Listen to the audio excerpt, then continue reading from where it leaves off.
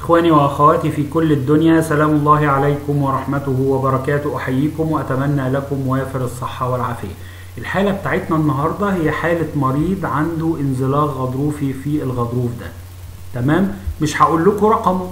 طب ليه مش هتقول لنا رقمه؟ لأن الشرح اللي أنا هشرحه ينطبق على أي غضروف. ينطبق على الغضروف ده وينطبق على ده وينطبق على ده. فالمهم إن أنت لو عندك انزلاق غضروفي الناحية دي عامل التهاب في العصب بتاع الورك عايزين تسموه العصب الوركي عايزين تسموه عصب عرق النسا عايزين تسموه عصب رجلك اللي انت عايزه سميه اللي انت عايزه لأن كل اسم المريض بيفكر إنه مرض مختلف. المهم إن الغضروف ده قدامه فتحة يمين وفتحة ناحية الشمال الغضروف دوت مأثر على العصب اللي خارج من الفتحة بتاعت الناحية الشمال واللي بيسمع في الرجل قصدي اليمين واللي بيسمع في الرجل اليمين وفي العصب اللي خارج من الناحية الشمال وبيسمع في الرجل الشمال. خلاص كده بقى عايزين تسموه مش عايز استخدم ألفاظ تلخبطكم لأن في ناس بتسميه العصب الوركي وناس بتسميه عصب عرق النسا وناس بتسميه انزلاق غضروفي وناس تسميه ضيق القناة العصبية وناس تسميه عبد العزيز وناس تسميه تمام؟ وكل واحد فاكر إن عنده مرض مختلف عن أخوه.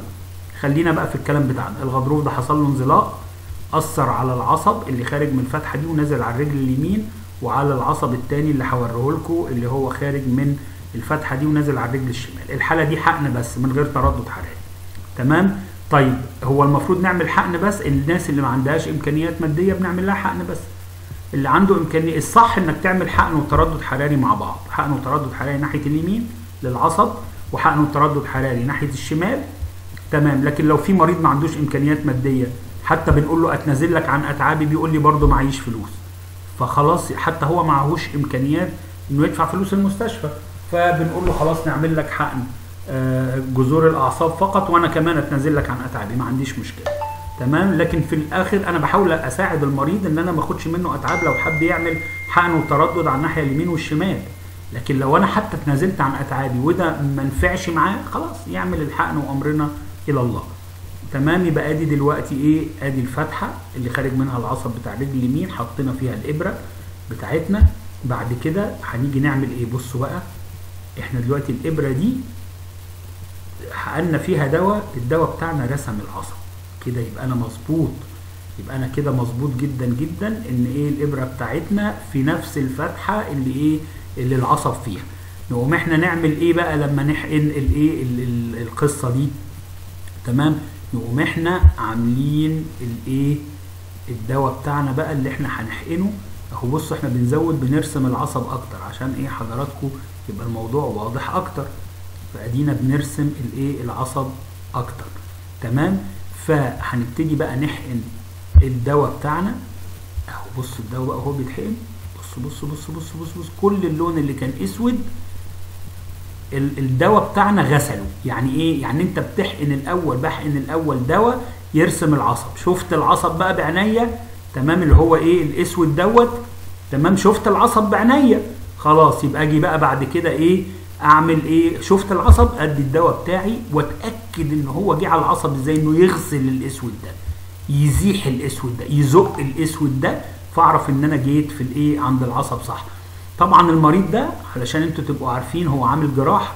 بصوا الفتحة دي اللون الأبيض ده الفتحة دي ده كده بس ده ما عندوش إيه تليفات والتصاقات أو معهوش فلوس للأسف إن هو يعمل تلي... اللي هو التسليك بالقسطره تمام؟ لكن لو إحنا رجعنا للآخر أهو هنجيب تاني ما يجراش أي حاجة. تمام؟ هنبص نلاقي في فتحة كبيرة في المنطقة دي. تمام؟ في فتحة كبيرة في الايه في المنطقة بتاعتنا دي. فدي ده فتحة دي فتحة جراحة. فده عنده غضروف مرتجع بعد ما عمل الايه الجراحة. يبقى إحنا كده خلاص حققنا الناحية اليمين أهو زي ما إحنا شفنا.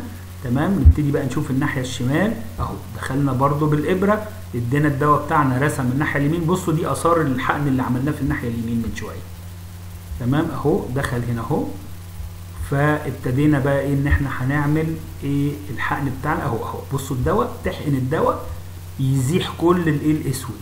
ويتبقى يتبقى الآثار. يبقى كده إيه دي آثار الحقن في الناحية اليمين وآثار. وبعدين خدوا بالكم عايز اوريكم حاجة برضو عشان دايما المريض بيعد على الدكتور بالكيلو. يعني إيه؟ يقول لك هتحقن لي الاثنين الغضروفين ولا هتحقن الثلاثه وهو مش فاهم الموضوع.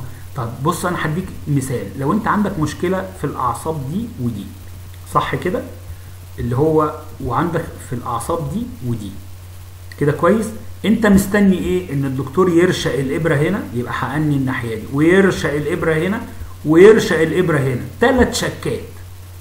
طيب ومستني برضو إن الدكتور يرشق الإبرة هنا وهنا وهنا فأنت كده خدت بفلوسك خدت حقك.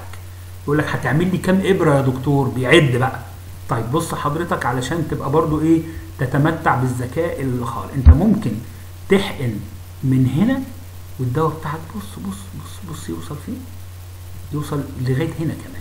فانا وفرت عليك شكتين يعني فاهم قصدي؟ مش عشان تاخد بفلوسك لازم تتشك ثلاث شكات عشان تحس ان انت يقعد يقول لي يا دكتور وانت هتعمل غضروفين ولا غضروف واحد؟ والله لو أنا دخلت هنا والدواء طلع لغاية هنا يبقى أنا عملت الغضروفين بشكة واحدة.